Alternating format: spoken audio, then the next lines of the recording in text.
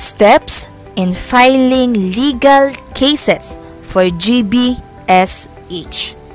First, report the incidents of GBSH to local police authorities, the PNP, especially the Women and Children Desk, if possible present the witness and substantial evidence.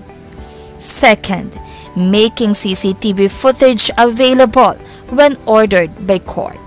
Third, file the case within the prescribed time period, 3 years for GBSH in the workplace.